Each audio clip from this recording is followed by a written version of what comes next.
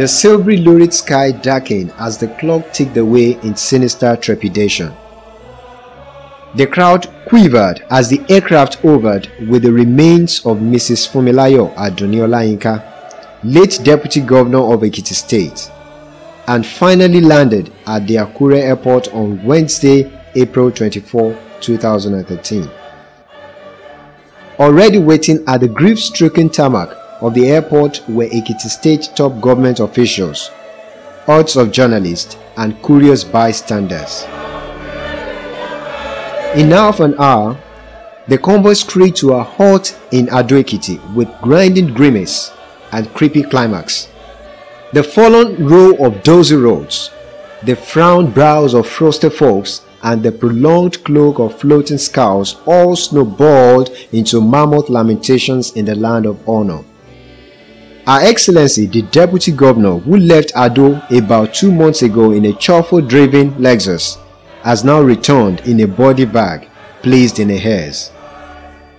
Olayinka died in Lagos on Saturday, April 6, 2013 after a futile fight with breast cancer.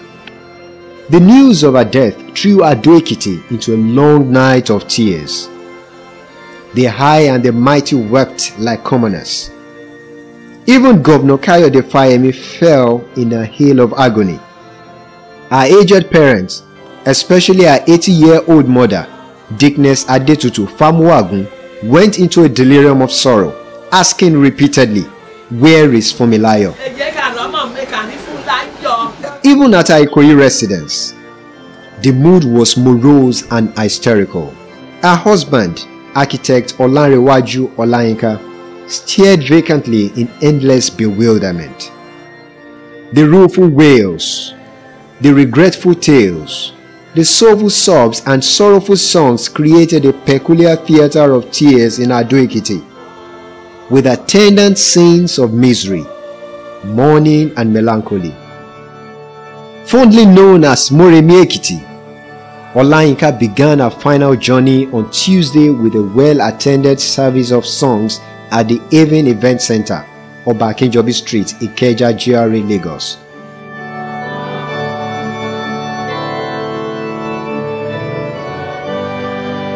It was an evening of solemn worship with soothing hymns, an evening of anguish bearing in a stylish ambience, and an evening of distress concealed in sartorial caresses. Hmm, it was a frightful fair of socks where smiles were scarce. Drops of tears rolled especially on the front row when gifted gospel singer Lara George dropped a lyrical bombshell, Ijoba Orun which magically jolted everyone into the reality of death, its inevitability and eligibility for paradise.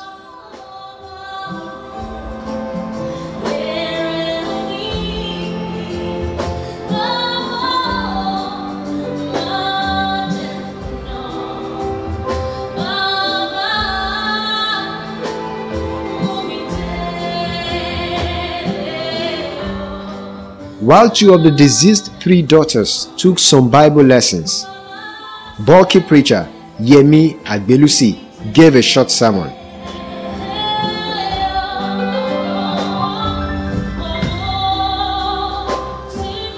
As early as 9 a.m. on Wednesday, the elitist streets of Opebi swarmed with cars and cavalcades. Security agents and traffic managers, classy guests and clergymen, paraphernalia of power and insignia of palaces. No doubt, it was a day of glory with gory pictures of gloom at the Anglican Church of Ascension, Opebi, venue of the commendation service for the late damsel. The MIC pallbearers arrived at the church premises with the body of the late deputy governor, cocooned in a brown casket, swathed in Nigerian flag and Ekiti colors. Soon, her husband, architect Lanre Olayinka and children accompanied the coffin as it was being wheeled to the sanctuary on a wooden trolley amidst somber chorus of Sing Hallelujah Forth in duteous praise.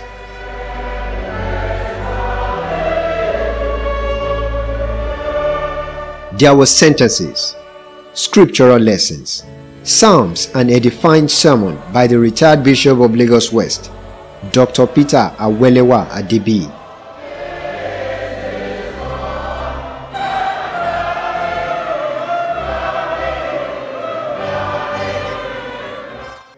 There were also interludes of special presentations, most of which left tears in the eyes.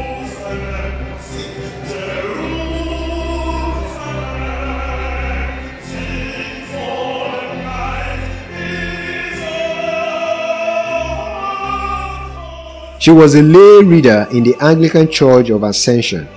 The strife is over. The battle is done. The commendation service was brought to a close with this consolatory recessional hymn.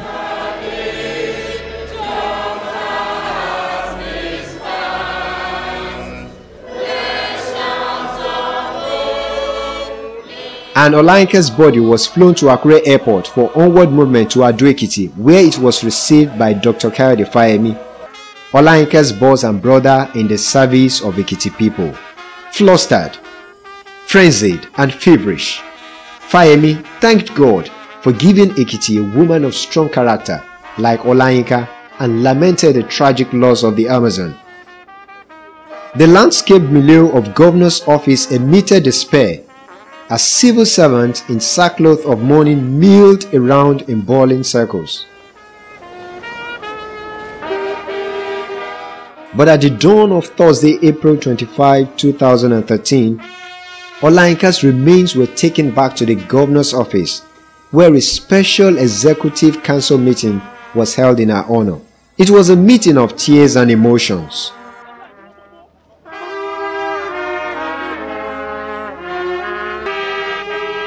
From there, the body moved to the Ekiti State House of Assembly for a memorial parliamentary session held in honor of this lady of style. At noon, the late deputy governor's body was finally driven in an elaborate convoy to the Kayode Oluyemi Stadium for a lying in state. Here, Nigerians from all walks of life saw because she died and smiled because she lived a great life.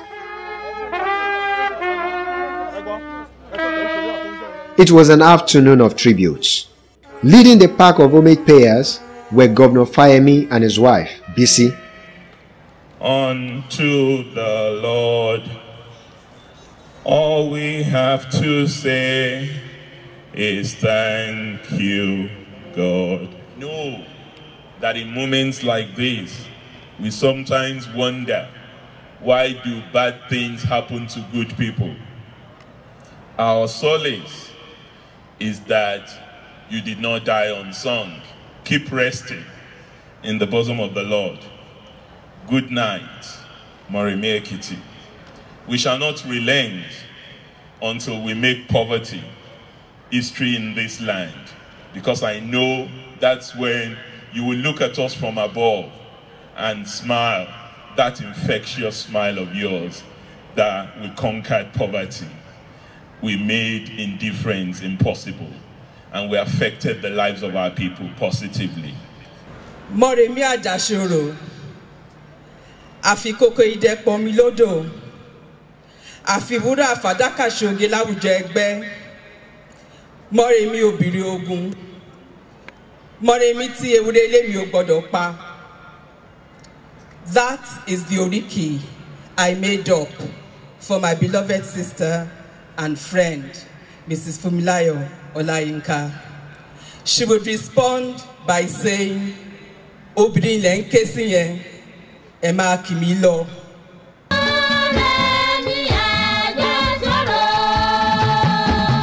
ọmọ ọ̀hún mi mọ̀mọ́ gbá lọ́wọ́ mi. akọ ọ̀hún mi mọ̀mọ́ gbá o.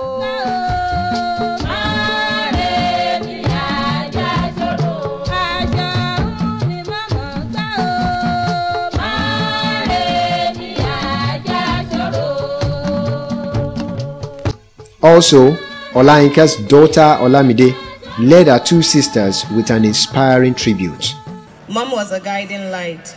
She set the example of what a good wife, mother, and friend should be. She was God fearing and brilliant in so many ways. Hmm. She truly believed that she could pass through raging waters in the sea and not drown because God was with her the entire time. I know that's how she felt about her battle with cancer. She knew that even if cancer won, God would be there with her to carry her safely to heaven. Mom put God first in everything that she did.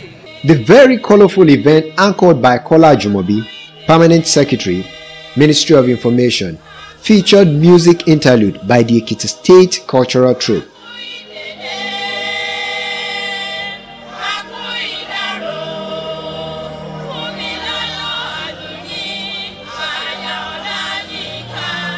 Delectable in death, captivating in casket.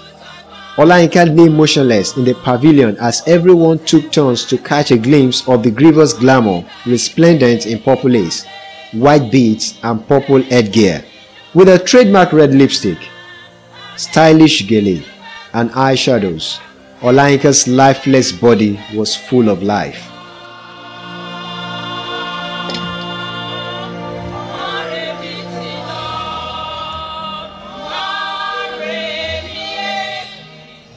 The eventide brought more thoughtful reflections in psalms, songs, and sermons. It also brought hows and bows of emotions. Family members, political associates, professional colleagues, and government officials gathered inside a wide marquee placed on verdant grounds of the government house for the wake-up service. Finally, it was Friday, April 26, 2013 the appointed day for Olayinka to return to Mother Earth. The last lap of the journey of no return started at sunrise at the Cathedral Church of Emmanuel, Ado Ekiti.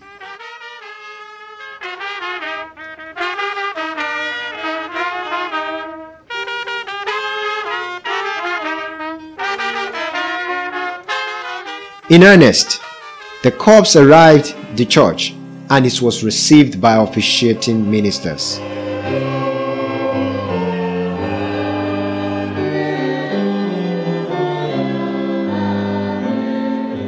The service attracted eminent Nigerians from different parts of the country.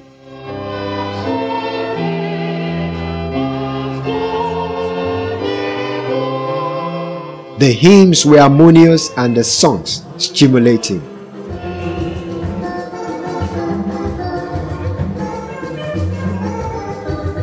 The sentences, however, reinforce the transience of human existence. In a sermon, Bishop George Lasebikan of Ondo Diocese of Anglican Communion charged all to live well in Christ. The service soon drew to a close.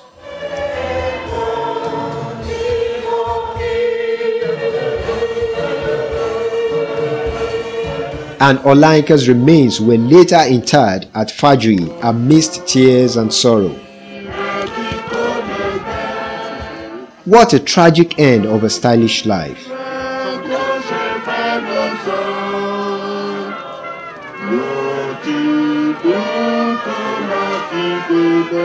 This is how cancer has cancelled the dream of a legendary life.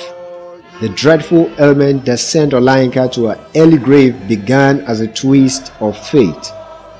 In late 2008, she noticed some hardness in her left breast.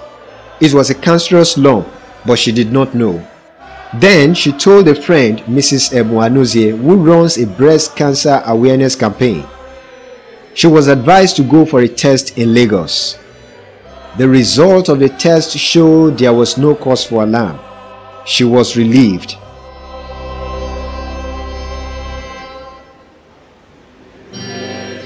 In August 2009, she went for another check because she was still feeling the lump. Weeks later, the damning results came out. Olayinka had stage 3 breast cancer. That was the ugly beginning. The cruel beginning of an untimely end. But she did not give up.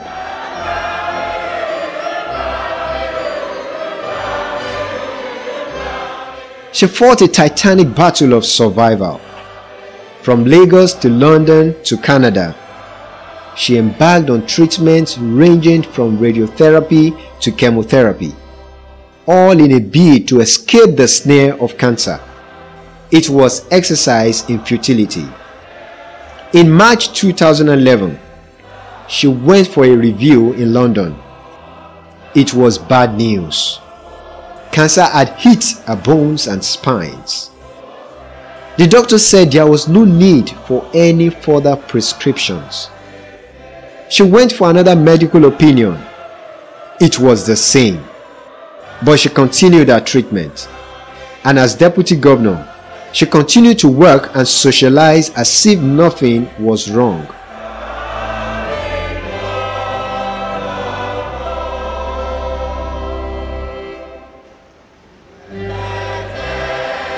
In March 2012, she went to Canada for another review.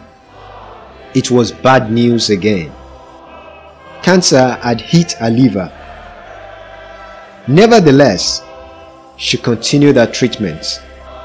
But in February 2013, cancer had moved from her liver to her lungs. That was the end of the road. She died two months later.